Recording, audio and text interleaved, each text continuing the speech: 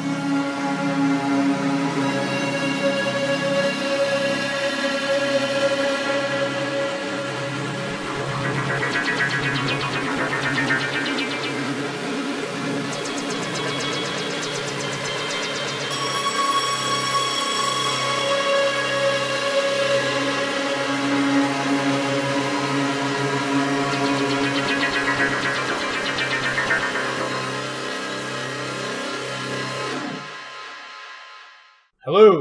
we are Chrononauts, a science fiction literature history podcast, and this is our host choice episode where we are discussing a bunch of non English works.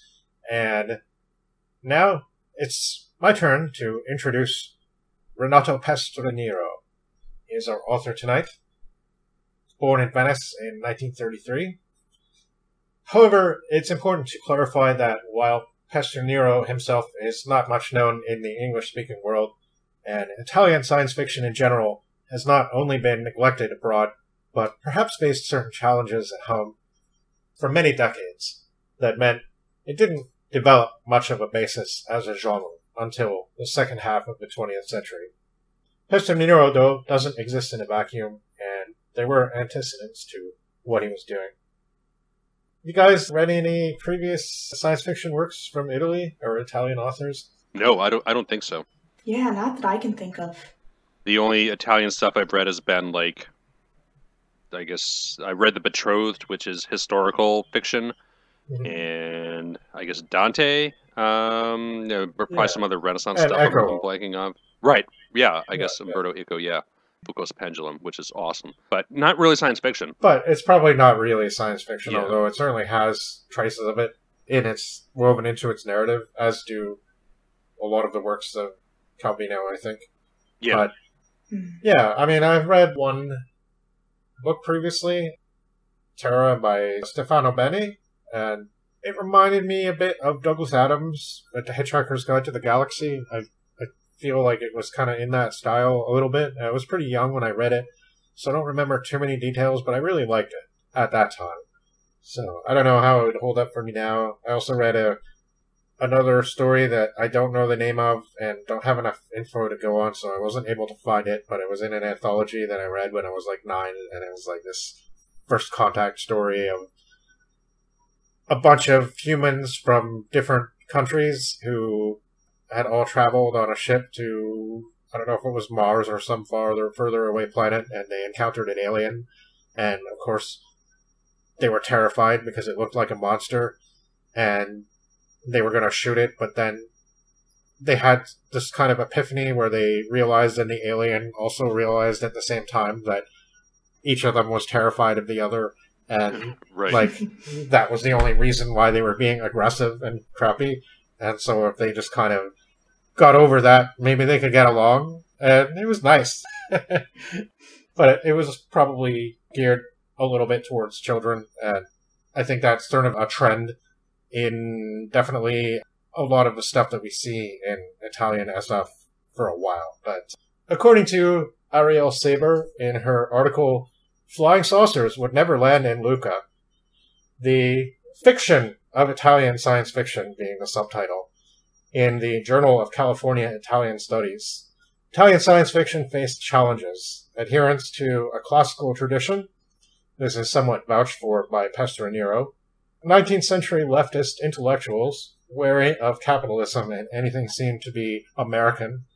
An early 20th century focus on hyperrealism in writing, and the Roman Catholic Church, which loomed large in influence and power in this country right up till recent times, and pretty much had an implicit focus on illegitimate prophecies being dangerous and not not fit for right thinking people.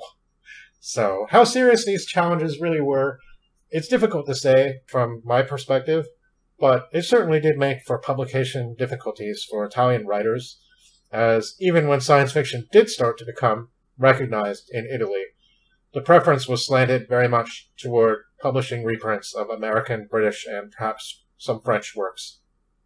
So, again, I'm going to say a lot of things in English because I don't really know Italian. I think I might be better at pronouncing it than a few other languages, but still, I don't really know it, so I'm going to try to avoid butchering too many things, but we'll see how it goes going forward. But I just want to talk a bit about, yeah, I'm mostly unfamiliar with Italian literature as a whole, and I certainly don't see too many Italian names among the noted science fiction practitioners.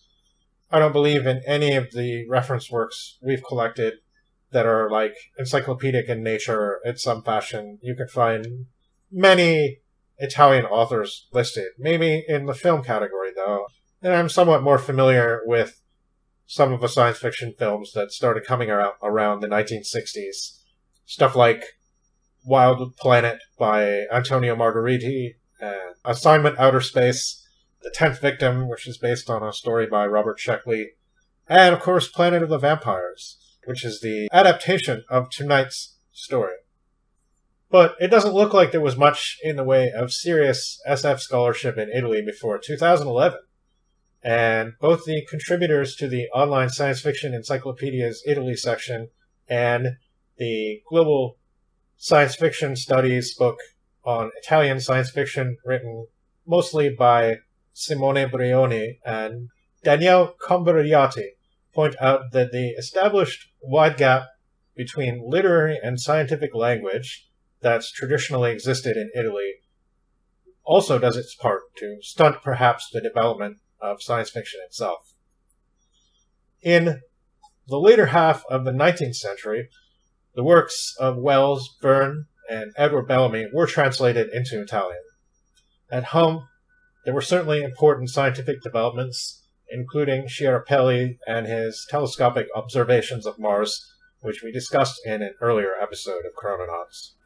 Yeah, there's a fair amount of major Italian developments in electrical technologies too. I mean, Galvani yeah. and Volta mm-hmm. around 1800 right, right. both revolutionized the entire industry with the development of a primitive battery from Volta and Galvani's observations on the relationship between electricity and the body, you know, uh, how electricity moves muscles and things like that. Yeah, so I think it's quite interesting. I mean, you would almost think that in that kind of climate, these kind of stories would flourish, but it seems not. It seems there's a very strong divide between literary and scientific worlds in Italy. So yeah, the early examples that were noted by the science fiction encyclopedia, I couldn't find original text of online anywhere. So I'd imagine even within Italy, they're still probably not that well known or fairly obscure and hard to find. Oh, okay. Well, we might get to some of those. I don't know which ones you looked for, but uh, you can tell me as we go, I guess. Yeah, I looked for Grifoni's from Earth to the Stars or something like that. Okay, yeah. And I, yeah, there's no luck finding it.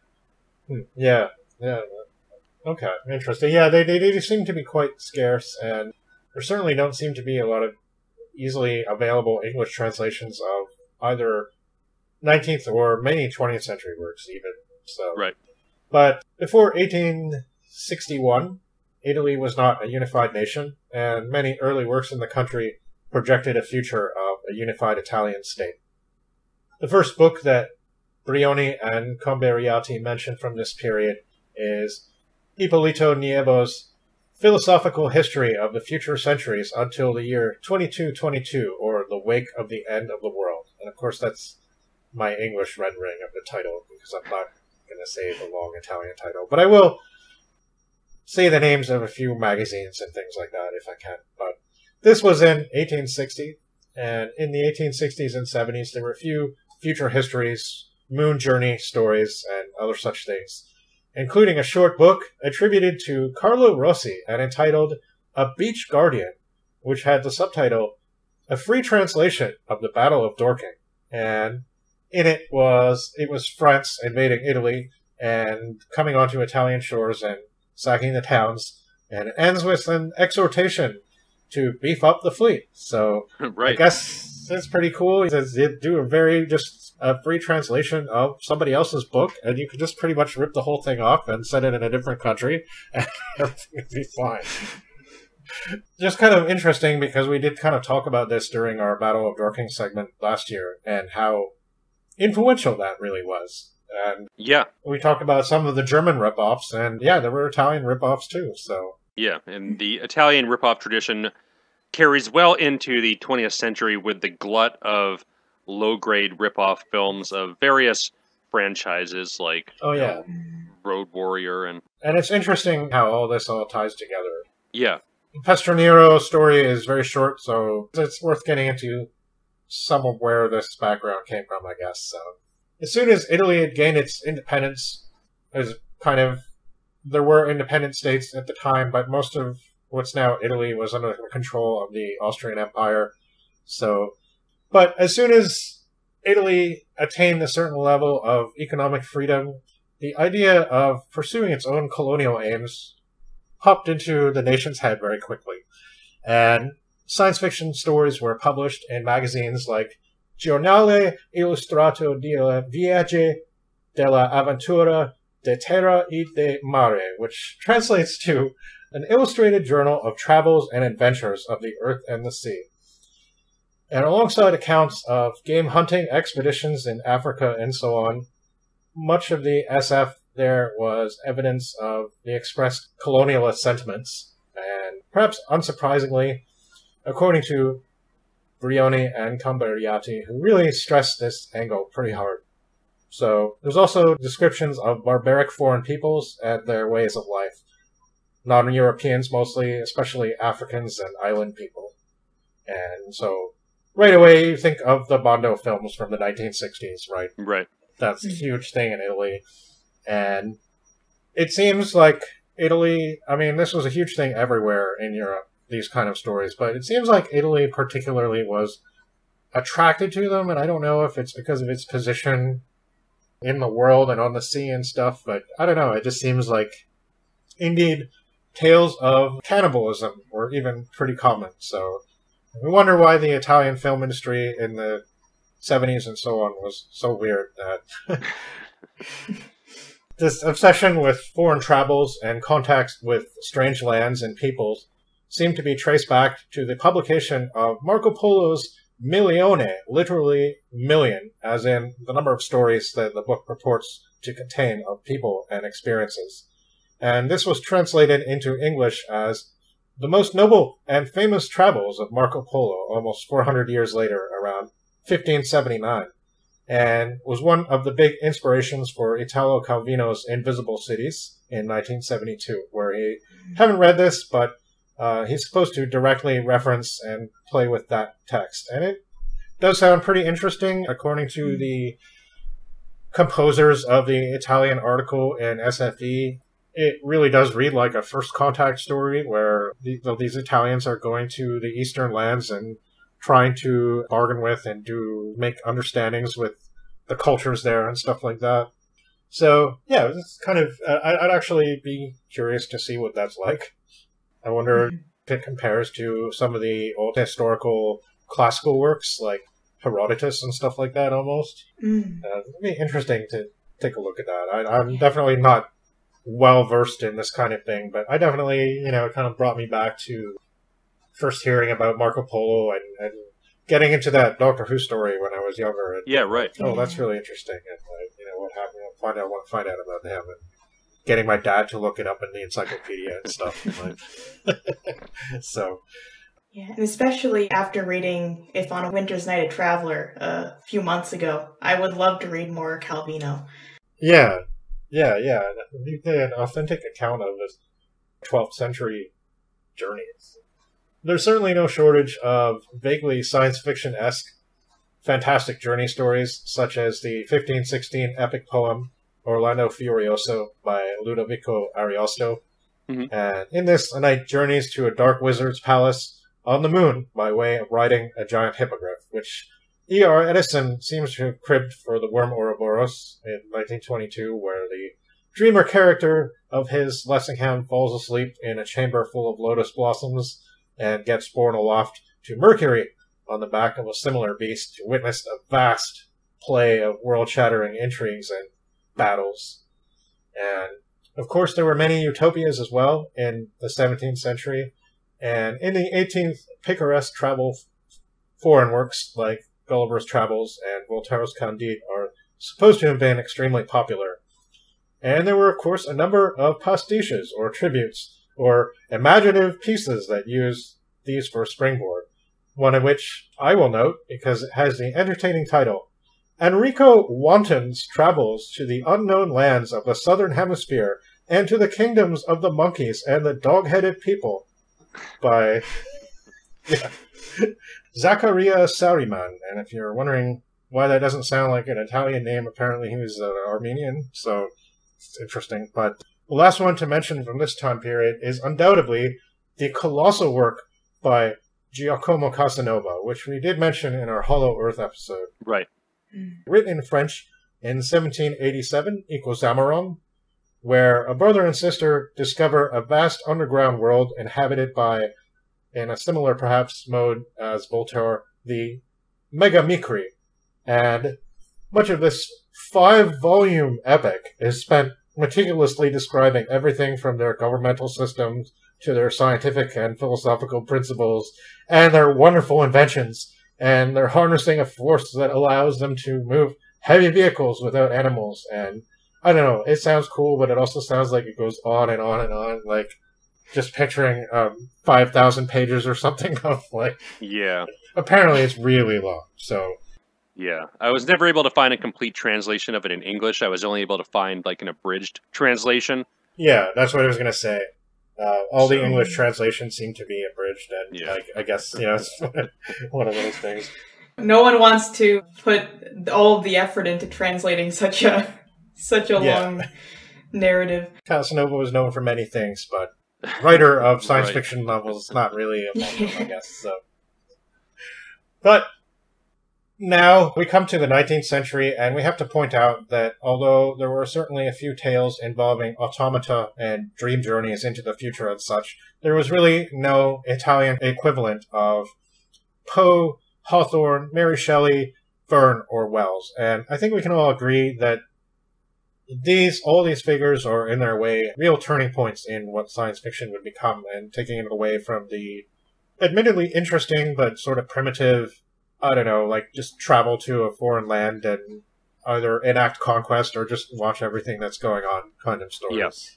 And Orlando Furioso does sound interesting. That is one of those stories we didn't cover during episode one, and maybe we'll have an interest in coming to it at some point when we do another one of these diversions. But yeah, for the most part, those obscurities and uh, weird curiosities from before 1800 are probably not worth getting that much into at least all the descriptions of those Hollow Earth novels and weird political satires and moon voyages just seem like all the other ones. Like they're yeah. kind of you read one, you read them all in a sense. Mm. But right, like when you read it, yeah, exactly. And I think after Erewhon, I think we can take a long break. yeah, been there, done that. Yeah. Now that we've turned the clock way back, let's yank it back uh, unceremoniously and unskillfully to the early 20th century and the Giornale Illustrato.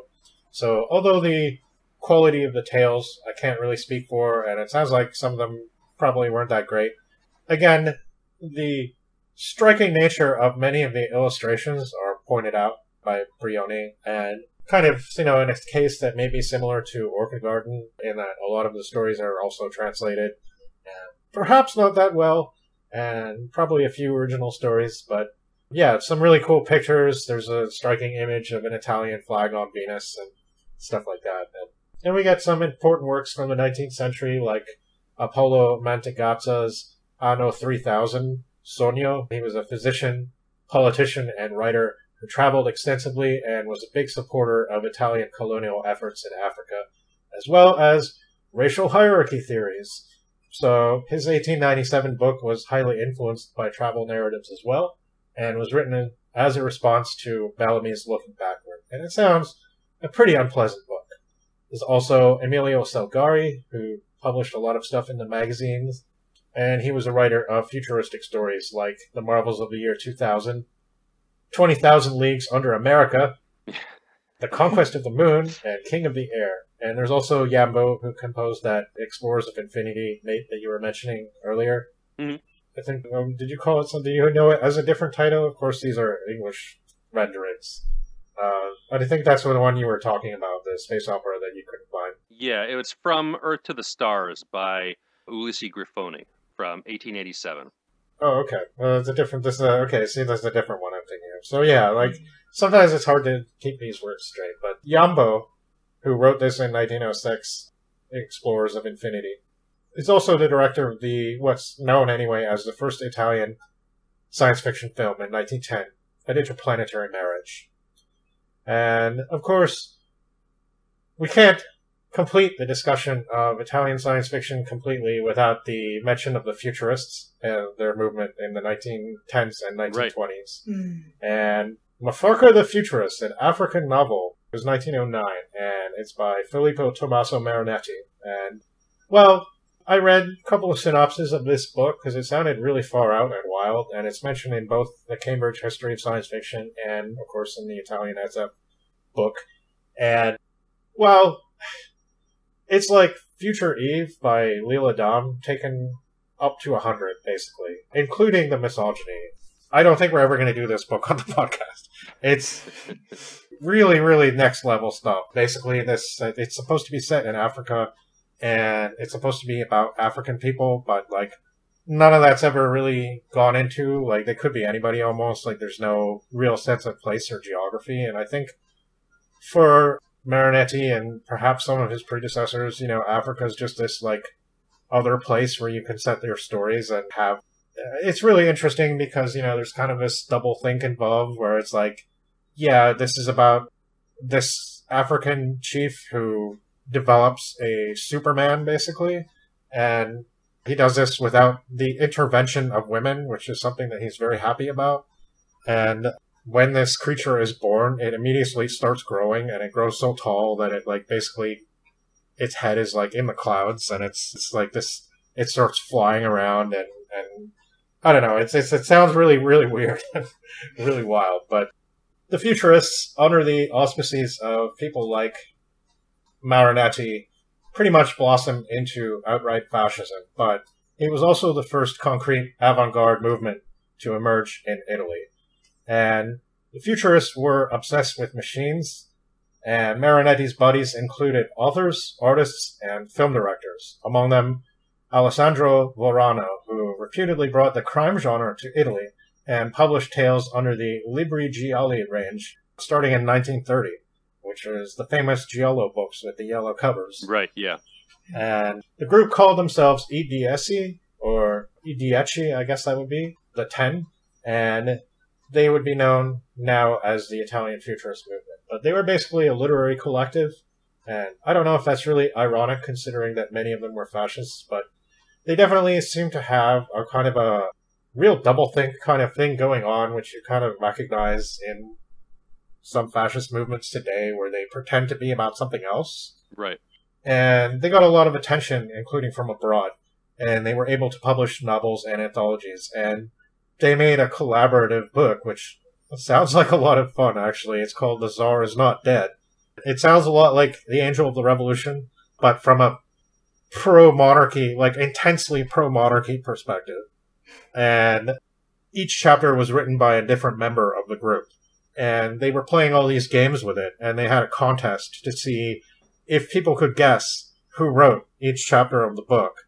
And I don't remember if it was in this book or in the anthology that they published, which was basically a whole bunch of short stories, some of which are sort of science fictional in nature, apparently. But they had a preface and they explained their aims, and they had many goals, but their most stated openly goal was to increase the price of books in Italy to return some of that value, aka time, to the artist. And it was a big deal they said that all these men in I Dieci were different from one another and cooperating in solidarity in this, they said. But it's pretty clear when you read their books and also in the preface to The Tsar is Not Dead, they kind of also state that they have no political aims and they just want to tell a really fun adventure story and that you should all just relax and enjoy it. And then they proceed to tell this like immensely reactionary like pro monarch work and you know it's like they might be right in some ways to make the massacre of the czar's family like look like the most horrible thing in creation. I don't know it's just really interesting it gave me the angel of the revolution vibes and but yeah i don't know like those guys pretty much went silent after the Second World War or didn't survive, but obviously they'd had an influence and there were quite a few men involved in different walks of life, but Marinetti especially seems like quite an asshole. but comic books really took off in the 30s, and Superman was really popular. It was new in America at the time, but there were also Italian creations, and they were pretty solidly aimed at a juvenile audience. So the magazine L'Avventuroso, or The Adventurer, was also a thing, and here we have a reverse of the later experience where anglicized or French names were Italianized to please the fascist censors, who of course wanted patriotism. And this is kind of a fun contrast to what would happen later, I guess, where they would do the opposite thing. But it seems like hiding your identity as a science fiction writer in Italy was very important, or maybe as a director of horror films. Yeah. Mm. Not much was happening in the 40s, though. World War II took a lot out of the nation, and science fiction was kind of considered an Anglo American thing, hence the publication of all these translated works and writers like Pestriniero having trouble getting stuff out there. In a highly political time, science fiction was not respected by either the right or the left. And it was called fantascienza in Italy. This term was first coined by Giorgio Monicelli, a translator, French and English, who created the magazine Urania, Adventures in Space and Time, in 1952. And this was done for the Mondadori Publication Group, and they were the same group that published the Gialli Libri. So again, we have all these things tied together, which is pretty interesting. He was an avid reader of American pulps, basically from the 1930s onward. And unfortunately, the magazine Urania only lasted for 14 issues, but it published short stories mostly translated from English magazines, like especially Galaxy magazine, which was new at that time, started in 1950, and definitely was the sort of social political satire side of science fiction being expressed in full force, and certainly something that I'm looking forward to talking about more as we get into the 1950s. But definitely, yeah, yeah. They also published scientific articles and of course, pieces about exotic lands and customs, though here apparently presented in a somewhat more scientific and less lurid way. And interestingly, though, along with the magazine, there was a series of novels that accompanied it, and it was sold exclusively on newsstands and was extremely successful in contrast to the magazine. And the series of novels lasted for years eventually itself taking on the collective name of Urania. And of the first 267 issued novels, only 11 of them were Italian. Mostly they were translated works of people like Arthur C. Clarke, Robert A. Heinlein, John Wyndham, Clifford D. Simak, and Jack Williamson. And although a few were apparently French, uh, now that we're in the 50s, of course, and the Patriots are no longer in power, we acknowledge the American nature of science fiction, and suddenly all the Italian names too are being anglicized. And there were several Italian writers that I haven't heard of from around this time, including at least three prominent women. And the only name I recognized was Ernesto Gastaldi, who is a screenwriter. Definitely seen his name on many credits for Italian films. Uh, but he wrote under the pseudonym Julian Berry. And in 1957, Monicelli had a dispute with his publisher and started his own competitor series, Romanzi di Cosmo, and these seemed to feature more Italian authors. And by the late 50s, some other magazines had sprung up, some of which also tended to look for more original material. And some of the writers even published under their own names. This pretty much takes us to our subject, Renato Pestriniero, who was a young writer when this story was published in 1960. And he's still around and pretty much writing up till the 2000s. And in the 60s, though, I mean, the new wave writers did sort of get translated, and Italian audiences get exposed to people like Samuel Delany and Roger Zelazny. But as you might expect, these didn't sell as well as stuff like Urania had.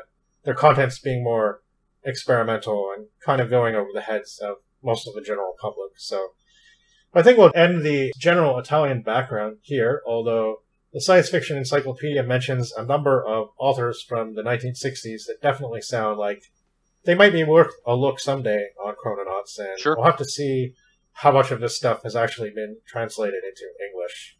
Mm.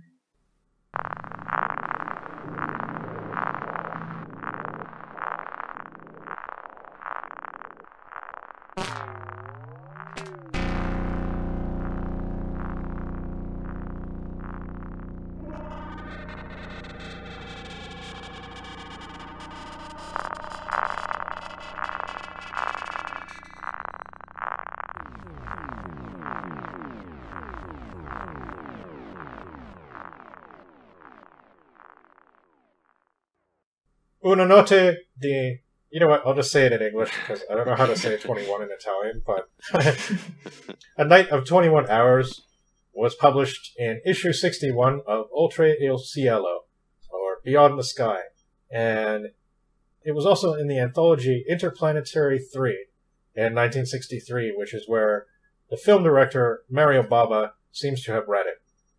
And the magazine was, again, both devoted to science and tech and fiction and it kept going till 1970 and produced 155 issues. For a long time, writing science fiction was a hobby for Pestriniero and not his full-time career. He said he spent much of his free time writing stories, and he also complained about the difficulty for Italian writers in the genre to get published.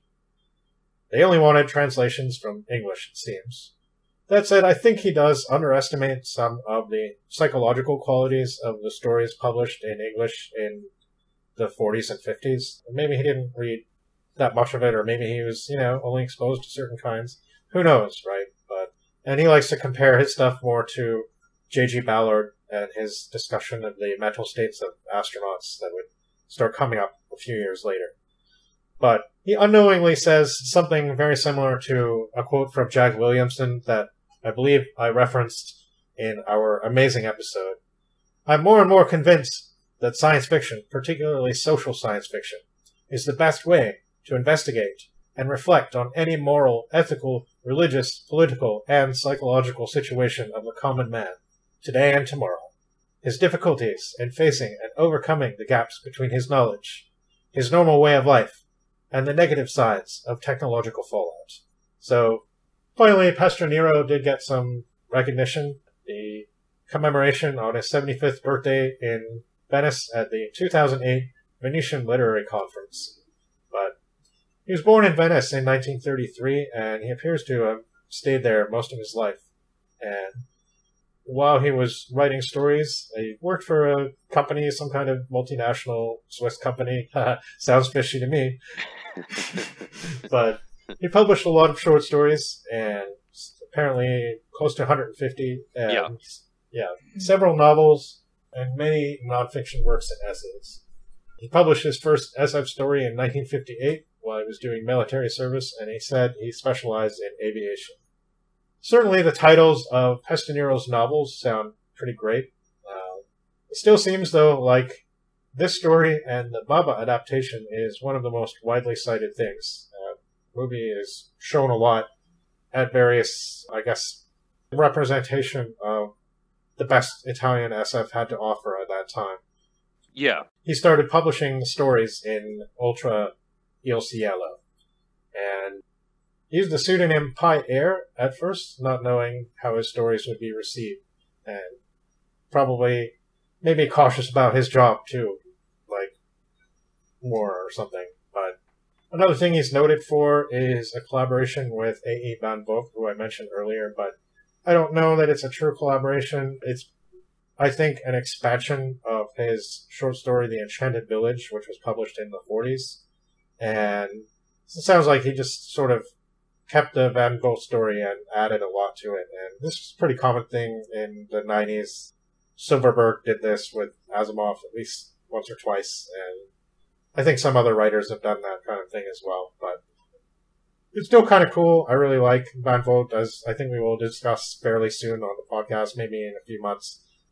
Definitely has his faults, but a really interesting, especially 40s writer. So, mm-hmm. looks like he's also somewhat famous for a travel book about Venice with Neil Watson doing the illustration, I guess photography, searching for Venice. So I don't know. He doesn't seem like a lot of the stuff's been translated into English. This particular story was only translated once before, I believe, and it's a very rare print publication, not digitized. Uh, or is it digitized?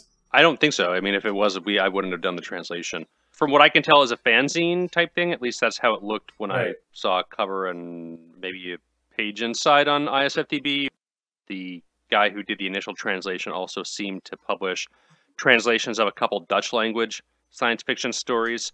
But again, it looks like a fanzine type of deal. So I'm not sure how widely it was circulated. Hmm. Well, in this time, Oltre il Cielo was bi monthly. So this was in the first of two issues from June 1960. So we all knew the movie beforehand. Right. yes. What do we all think of this one? I thought this was a pretty cool, especially when contrasted with the film. I mean, mm-hmm. we'll we'll get to that when we talk about the actual story itself and what the film does with it. But it expands on different elements that aren't really present in the film that I think make more sense in the context of it. The issue of, I guess, the true nature of one's mind. You know, the ego versus mm-hmm. the id is gone into a lot here, and it kind of adds a cool touch to the story. In addition yeah. to all the cool atmosphere that we get in the story of being on this strange planet filled with a dense, thick fog, and everything is like purple and pinkish, and it's all spooky and stuff. That that stuff is all here too, and that's great. But yeah, the psychological focus I think is an interesting one. Yeah, I agree with that. I do like the concept of like the id versus ego as well yeah, like it still has the atmosphere that you get from the film. It's just that there's a bit of a different concept that I I enjoy for almost as much. And I think that it's really cool. Yeah. The story definitely tries to be more psychological. I don't really know that it entirely like again, it's pretty short. It almost feels like just as it it sort of gets going, it ends. But also, hmm. I like the way it works. Like it feels yeah. very self-contained and very nightmarish and kind of like absurd almost. Like yeah. in a way that the, the film isn't. The film went through so many different writers.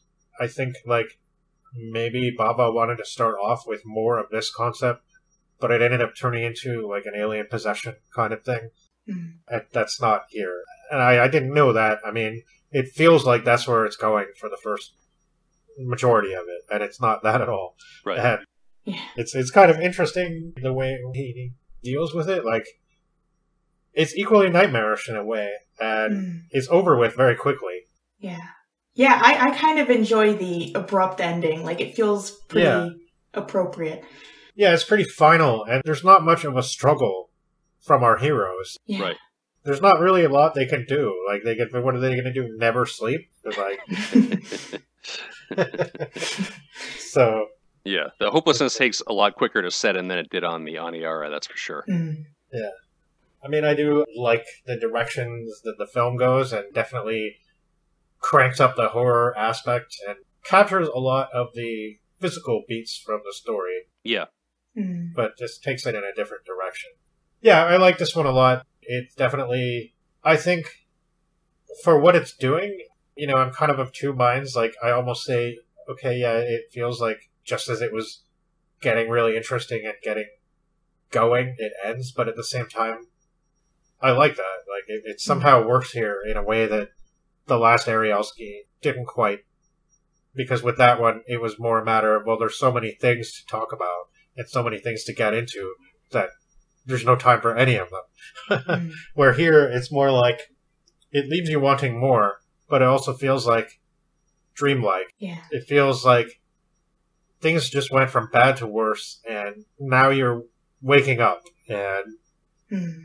you're left with this awful, awful but kind of absurd vision. I mean, I don't want to. We'll get to it when we get to the end. It's a very short story, so I think I'll just go through it now.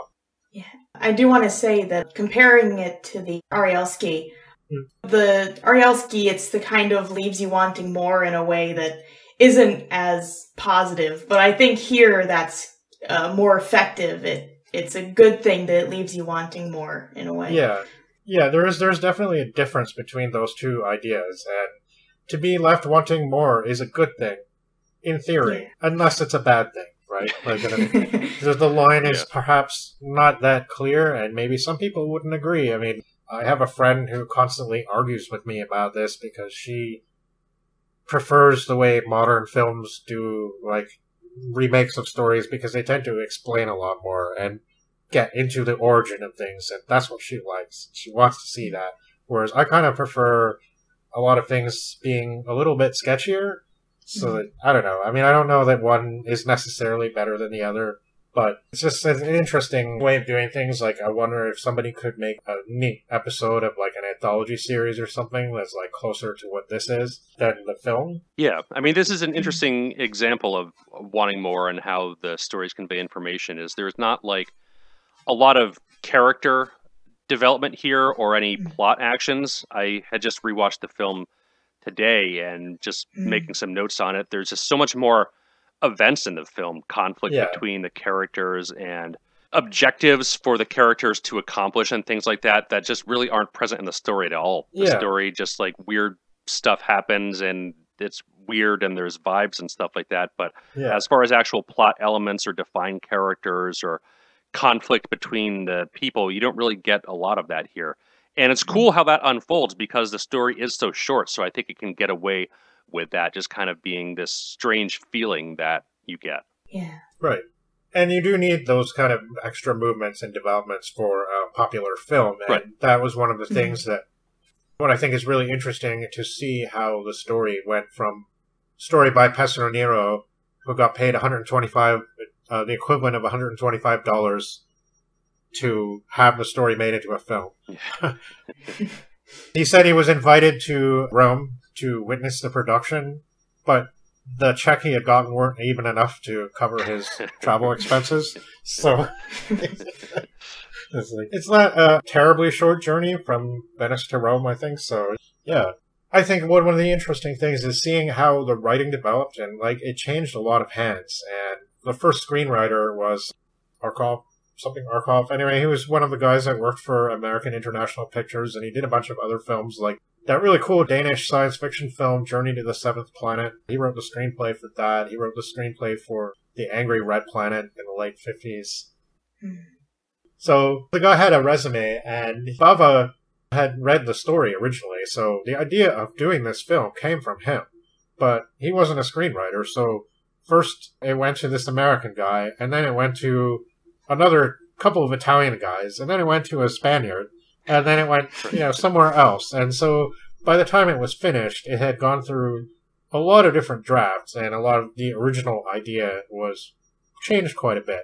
So I think Bava had intended actually to stick a little bit more to this idea in the story of like making the possession seem kind of like a good thing for these people. Mm-hmm. I think that that mm-hmm. looks like that was almost more of his original intent, and that got a little bit lost along the way. But he did comment right away on getting the first draft that the screenwriter really understood how to make things eventful, and like, yeah, he took the basic blueprint of the story and created all these events around it and made it exciting and added an alien spaceship so that Bava could really go to town on cool sets and everything yeah. like that. And they knew what he was good at. Yeah. So yeah, it'd definitely be interesting to see earlier versions of the script if any exist. Yeah, yeah a lot of this is documented pretty clearly in the uh, all the colors of the dark book, but right. I don't know about the actual scripts. Yeah. Mm. But yeah, I'm gonna get into the story because yeah. it is very short, so there won't be a long discussion afterwards. So I just want to leave the rest of the talking till we we finish the story and then we can discuss it. But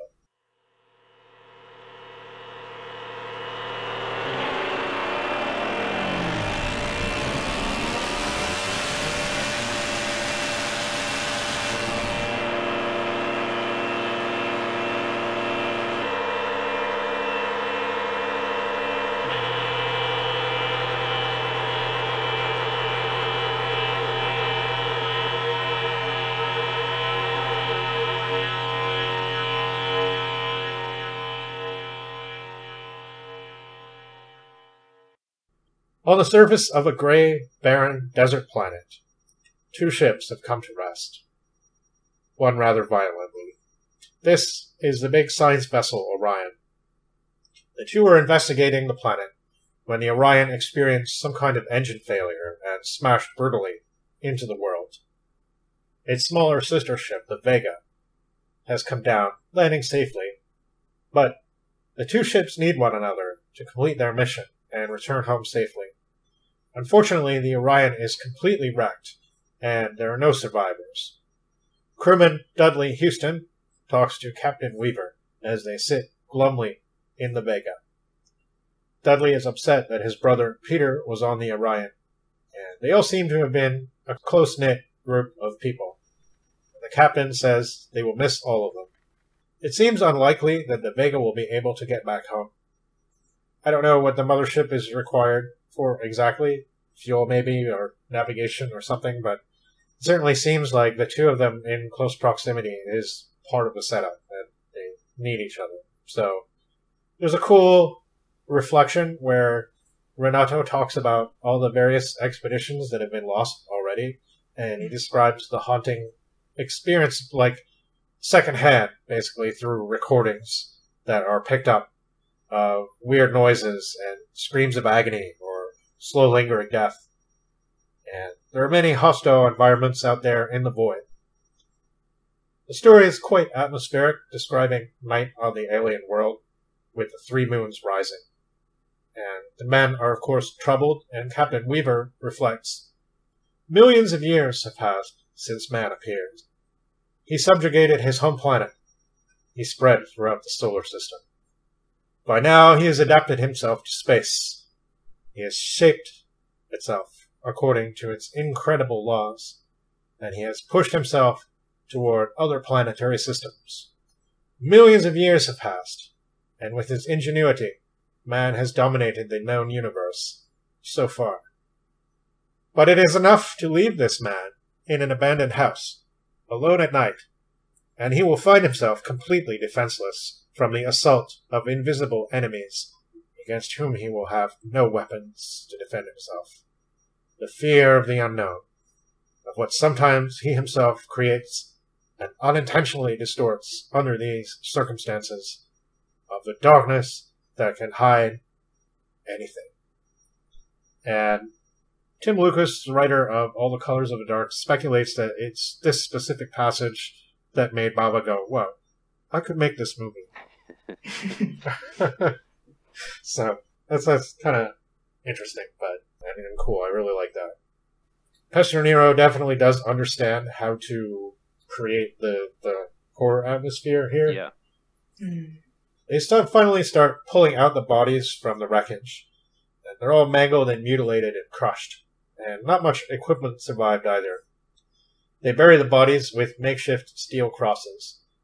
Captain Weaver is determined to still carry out some research on the planet and try to get home in one piece.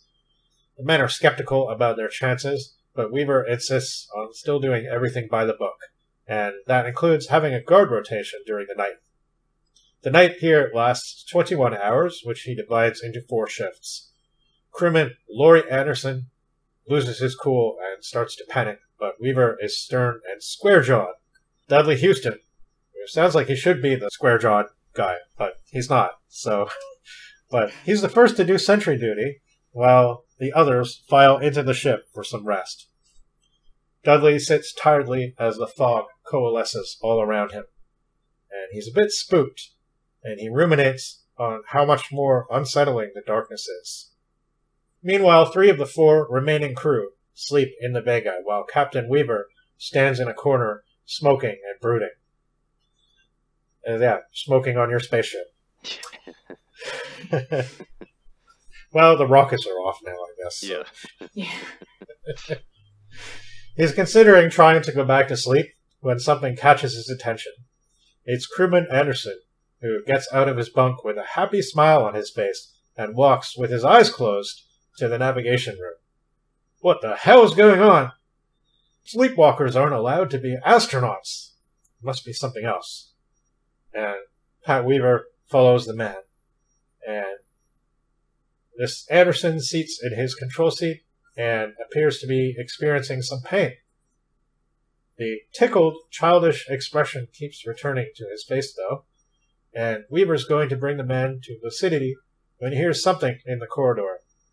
It's crewman Eb Doyle stalking into the room with a weird expression and his eyes closed. And he grabs a wrench and starts smashing the ship's radio, which of course is the first thing any alien invader would like to do. But this spurs Weaver into action, and he starts shaking the two men and shouting at them. And Doyle is so shocked that he instantly faints. As for Cliff Donovan, he seems okay. Maybe he didn't get any sleep. And he talks to Laurie Anderson, who is very ashamed. And he says it was like someone else was in his head, only he knew that it was also himself the whole time. Above him, the sky turns a strange red color. It's just one of the moons rising. So those two are outside, and now, of course, we need at least two on guard. Eb, Dudley, and Pat sit in the ship drinking black coffee, and Dudley confides that while he was on shift, he saw shadows creeping through the fog and heard distinct rustling noises. And he put it down to the spooks and wouldn't have even said anything were it not for other weird stuff going on this night. One of the shadows looked like his brother. And just then the radio comes to life. The dead men are up and about. It's not just the walking dead. These men are so damaged in body with caved in chests and stoved in heads and mangled limbs and blood everywhere. But they all seem inordinately happy and pleased with themselves. It's the formerly calm Cliff screaming into the microphone, and Laurie is nowhere to be found, and Cliff is running to the ship for safety. So Pat decides they should go and try to get Laurie, wherever he is, and they find the five graves of their comrades. Of course, open. And Cliff and Dudley vanish next. So now there's only Pat and Eb Doyle left. And they heard shooting in the night. Doyle is completely sure that Cliff and Dudley are dead.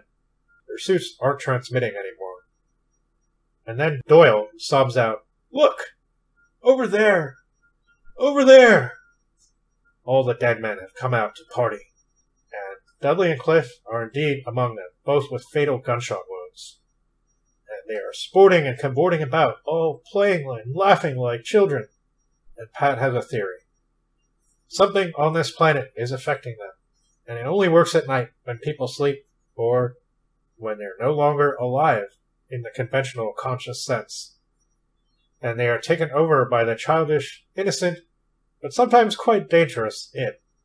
So there's no alien possession here anywhere, just the childish desire to break toys to see what they look like inside, which is something that I knew very, very well when I was a kid. So I get it completely. I'd be the one smashing that radio, which I actually yeah. do remember doing at some point, having a little radio and smashing it to bits to see what the inside was like. So, but people on this planet can never die, it seems, no matter how damaged their bodies are. And Pat says quietly, at least, perhaps unwittingly, they are happy. Envy them. At 1823, since the harrowing night began, the remaining two are exhausted, and Pat keeps dozing off. Once, when he wakes up, he's alone, and the room is a total mess. Seems Doyle got the bug, and he had fun throwing papers and stuff everywhere, and now there's no sign of him. Now that he's alone, Captain Pat Weaver finally seems to break, and he moans and asks why he should be the last. Why? Because he's captain, of course. But he won't be saving this ship. At 2000 hours, the captain goes out, walking toward the Orion, where he can hear the sound of raucous singing. The kids are there, hopping and skipping around, and having an awesome time. Pat longs to join them, and the children seem to welcome him, but his conscience won't let him. So he makes sure his gun is loaded. Wait, friends, he said. One more moment, and I'll join you.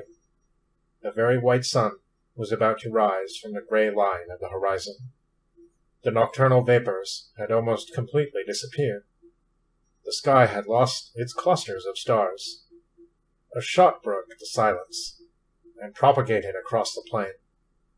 Festive shouts rose from the group as they began to dance around Pat's body again.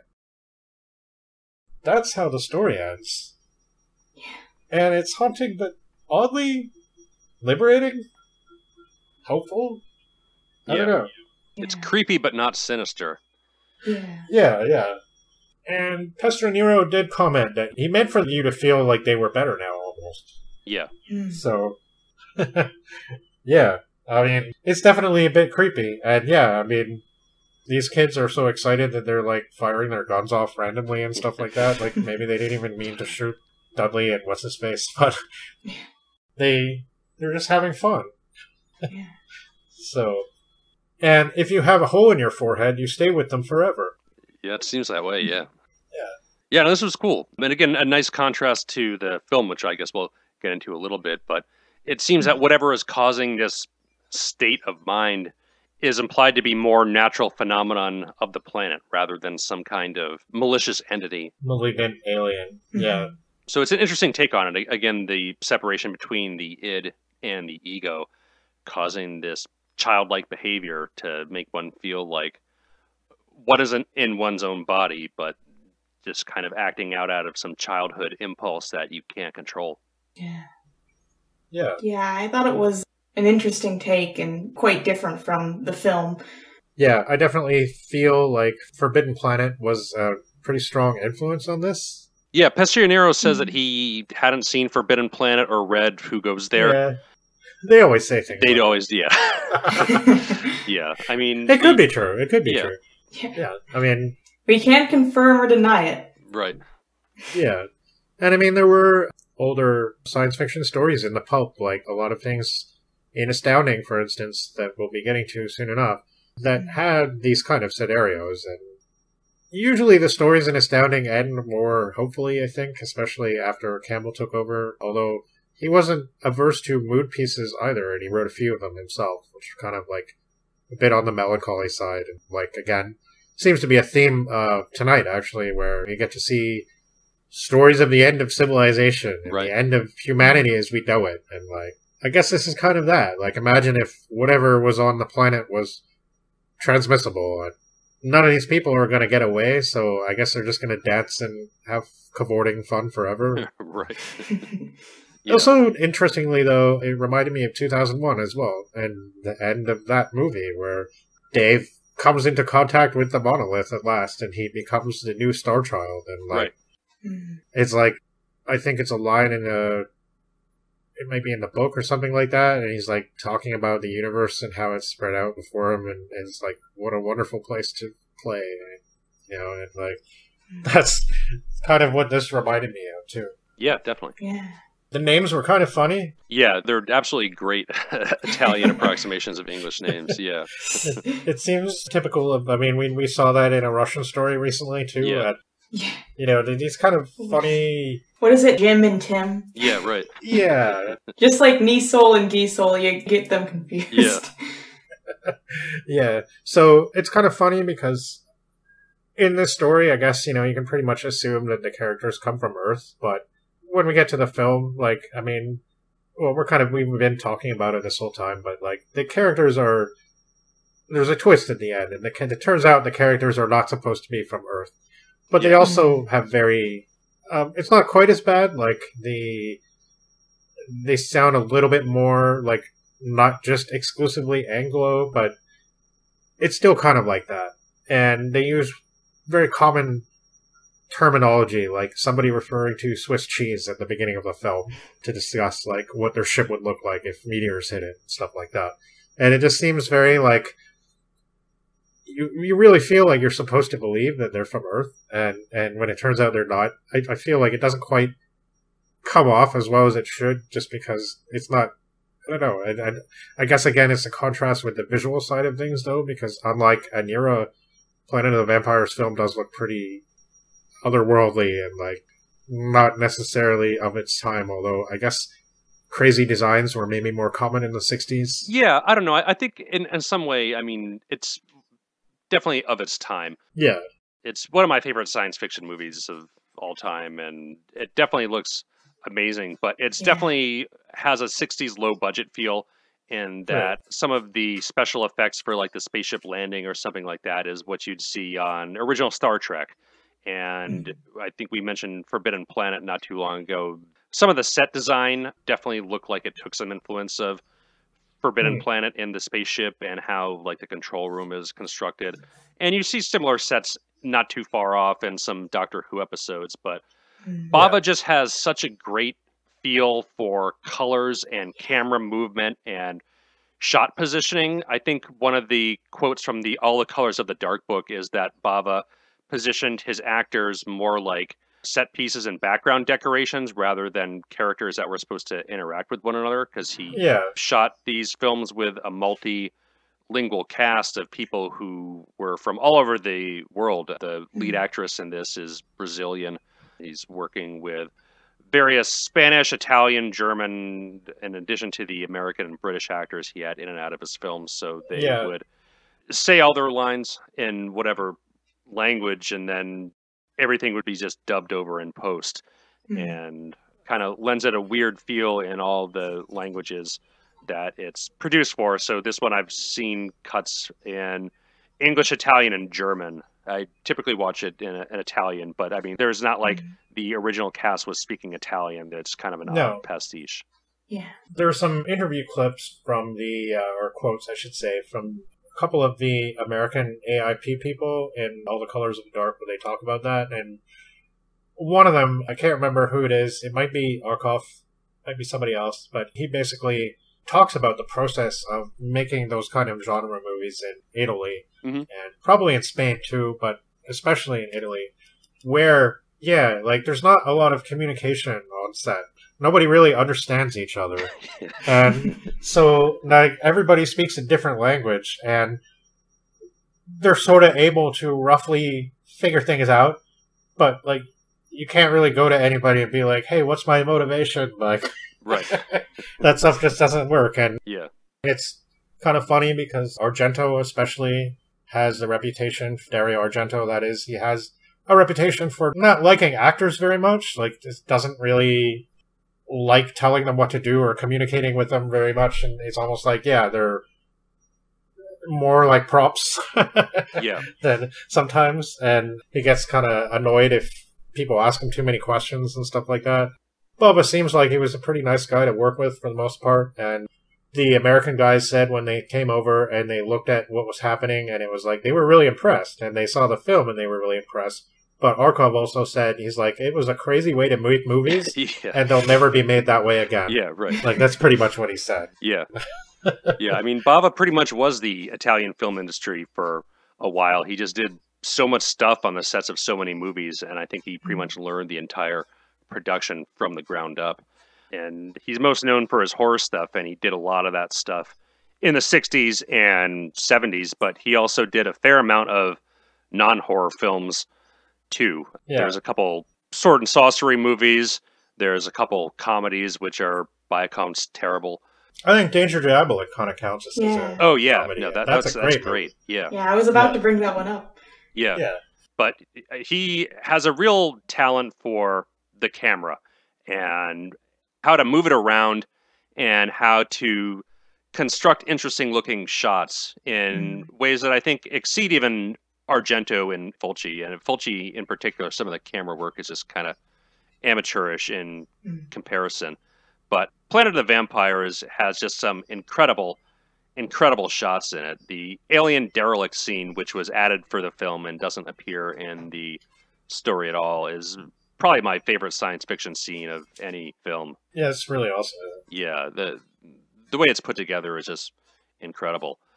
Yeah, and I guess if you haven't seen the film, you should definitely watch it before listening us to us talk about some of the finer details of it because it's just a great experience and hmm. it has a lot going for it that adds on top of the story that I guess was the process of it going through several different revisions during the script writing process. Yeah. Pestriniero said he liked the film. He certainly seems happy that it's considered like maybe one of the very top Italian science fiction films. I don't know. I think he's a little bit detached about it, maybe because he doesn't see that much of his original story in it. Right. Mm-hmm. And he only got paid $125. so. Yeah.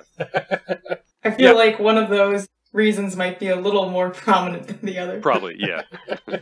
yeah. Yeah. But he seems to acknowledge that it's a really good film and he kind of expresses a little bit of regret that he never got to meet Mario Bava. But yeah, he just couldn't couldn't, you know, make the trip, so it didn't happen. And I don't know, it's not the first or the last time. I mean, uh, ten years later, Francis Ford Coppola would buy The Godfather from Mario Puzo for very little money as well. So right, I, I think it was more than 125 bucks, but it was like 450 or something like that. Probably less than he made. Considering, yeah, considering what uh, like well-regarded classic film it is, right? Right. He probably deserved a little more, but what can you do? yeah. But now this one yeah. does maintain more or less the same setting of the story of the weird, mysterious planet covered in fog and the general maroonment of the two attached ships, though this one they're drawn by a malignant force and mm. not just kind of the natural circumstances of a weird planet that they happen to stumble upon from some scientific expedition. Yeah.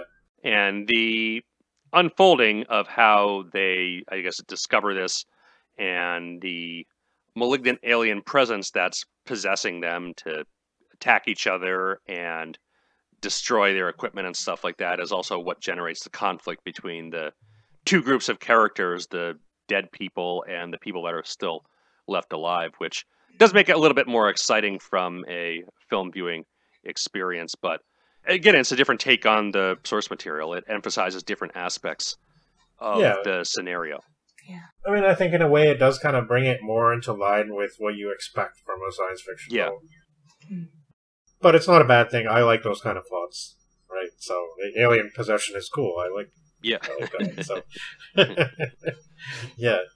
But these children are cool too. I mean, I again, this is very it's very nightmarish, and I guess I can see how if it had gone on longer, it probably wouldn't have been as good, wouldn't have been as effective. Yeah. Mostly, yeah, he's kind of dry and a little bit like Pat sat down and drank his coffee and did this, but every so often he'll really get uh, existential with stuff. And there's some really cool moments in the story where, yeah, like when he's talking about the eerie reports that came back from the planets where the expeditions didn't return from, and the captain thinking about how easy it is for someone to basically succumb to this dread in the darkness, and the other guy on watch hiding his experiences of what he saw because it was too unbelievable. But then, in the face of everything else that's going on, well, maybe it's worth worth going into, right? And I don't know. It's just there's some there's definitely definitely some cool moments of psychology to be found in the story that aren't really in the film. Right. So yeah, hmm. again, I think that's an advantage that stories sometimes do have over film. Is that it's I mean you can convey these kind of things in both, but sometimes it's easier to write about somebody's psychological state than to show it. Absolutely. Right? Yeah. yeah. So, and yeah, the characters, the actors in the film probably didn't have a huge idea of what was going on, possibly. so, I mean, some of them did redub their lines. The captain, Barry, what's his name? Barry Sullivan. Yeah. Uh, that was all his voice. And uh, he was probably the only one, actually. Come to think of it, in the English dub. Yeah, because uh, so. there weren't any other English performers in the cast. So yeah, or English speaking, I should say.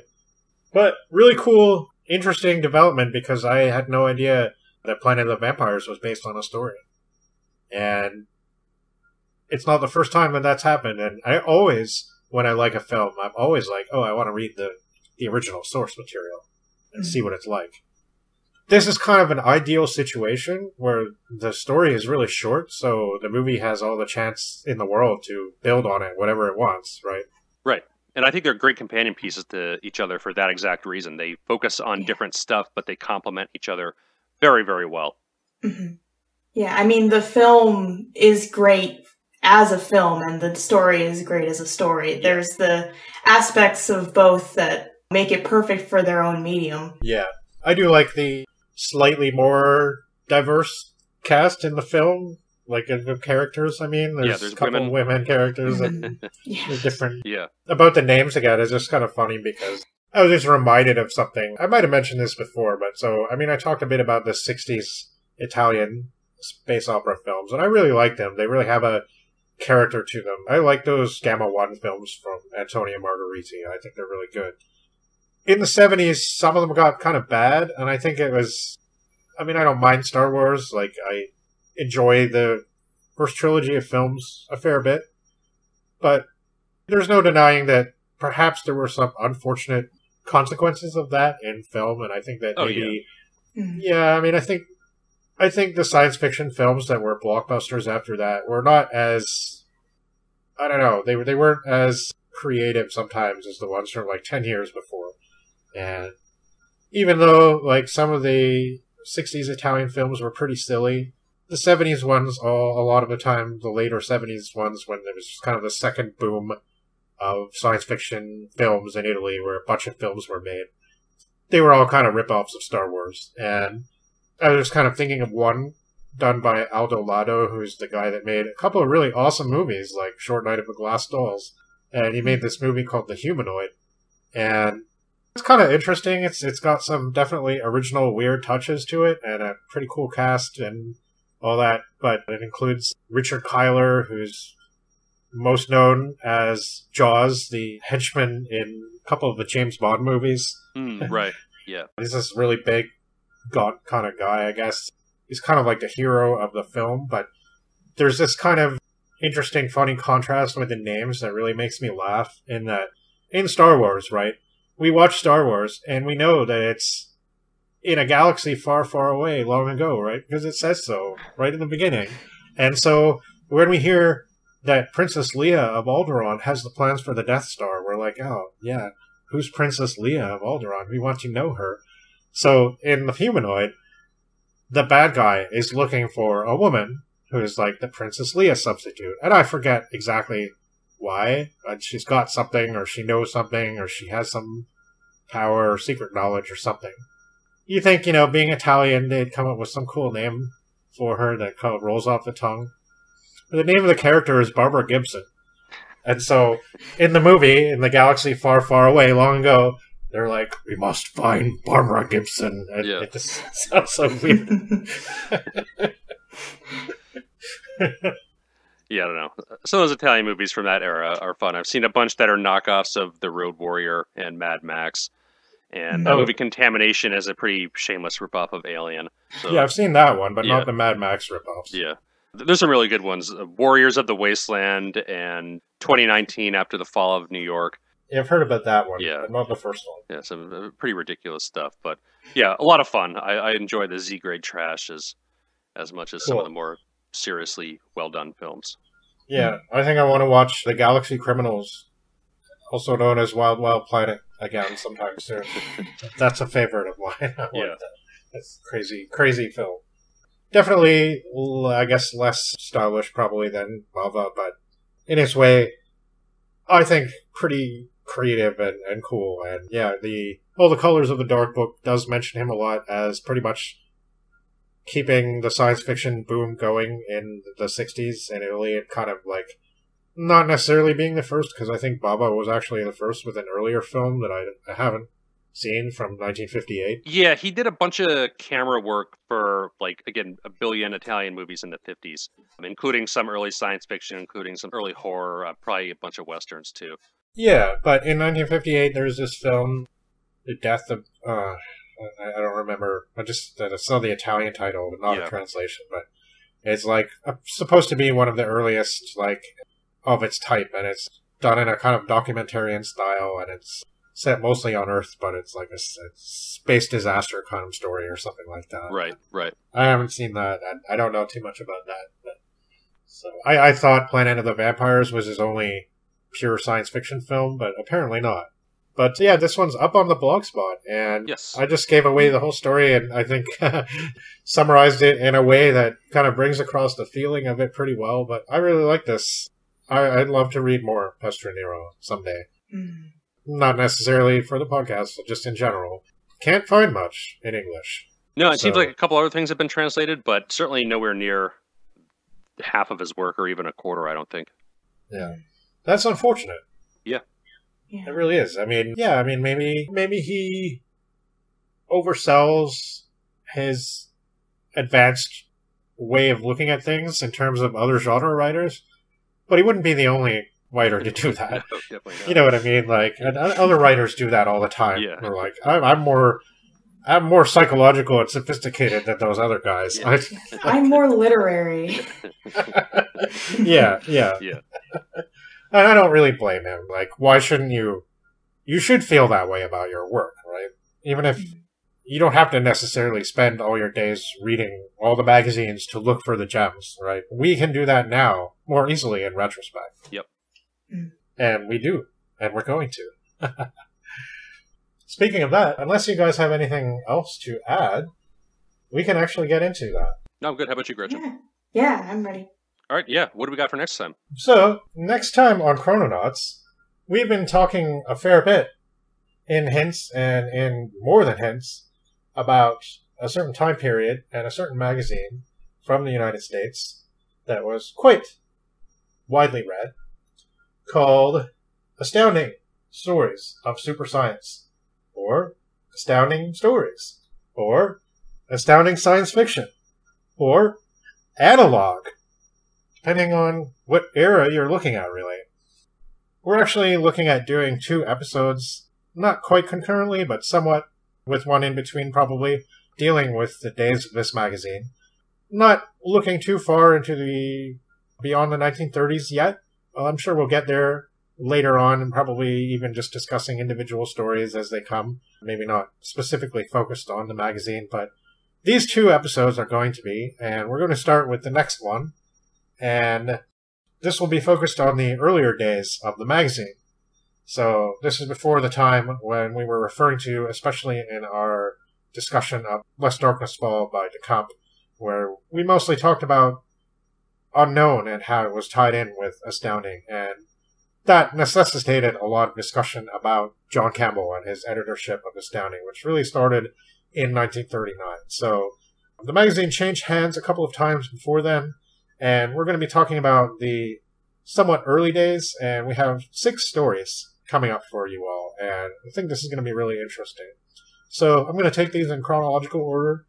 We'll start with The Cave of Horror by S.P. Meek from the January 1930 issue. I believe that was the first issue of the magazine. Yep. Yes. Okay. Perfect. And we're following that up with Sophie Wenzel Ellis and her story Creatures of the Light, which is from the February 1930 issue. Popular author, and I guess if you can say, you know, some of these 1930s authors, they're not very well known now.